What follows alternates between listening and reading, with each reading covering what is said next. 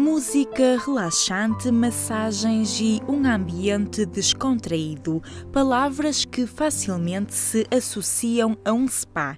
E sim, de facto é um, mas especial. Falamos-lhe de um spa para cabras.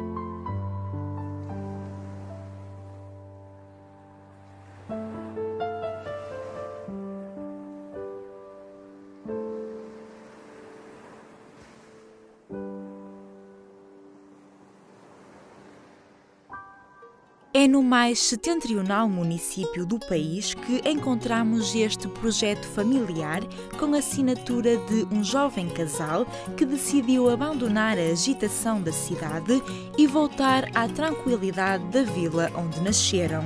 Para nós sempre fez sentido voltar à terra e sempre foi nosso objetivo aproximar-nos o mais possível. Não tínhamos como objetivo, se calhar, vir para Melgaço, porque era, eram umas áreas que era difícil arranjar cá emprego e daí surgir a necessidade de arranjar algo nosso que, que nos permitisse regressar. E surgiu a ideia da queijaria. Apostar em algo diferenciador era o objetivo, quer pelo produto, quer pela qualidade, e foi assim que a ideia, regada com vinho alvarinho, surgiu. Foi numa festa do alvarinho. Nós achamos que no meio daqueles produtos todos que são de excelência, que fazia falta queijo. Uh, achávamos estranho como é que numa, numa zona muito próxima de trás dos montes eh, e é, que sempre houve a tradição queijeira, como é que nós aqui nunca tínhamos tido. Então resolvemos ir por aí. As cerca de 400 cabras são massajadas e ouvem música relaxante num autêntico parque anti-stress.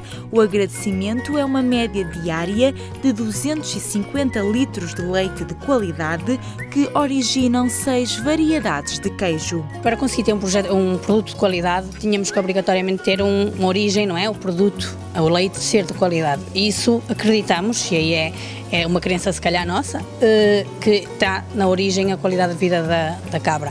A ausência de stress dá sempre mais quantidade de leite, o leite tem que obrigatoriamente ser melhor quando nós estamos bem, não é? Por isso, acreditamos nisso. Elas têm a sua escovinha de massagem, têm acesso também ao exterior, em que podem apanhar um bocadinho de sol, têm a sombrinha dos carvalhos na parte de trás, têm um riacho que podem ouvir a água a correr e tem música ambiente o dia todo para destressarem.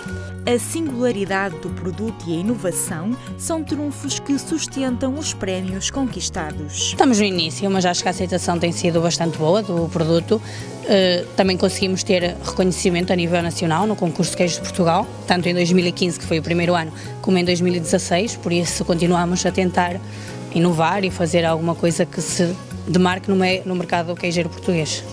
Mais do que atingir picos de produção e venda, Verónica e Marco têm como principal preocupação o bem-estar animal.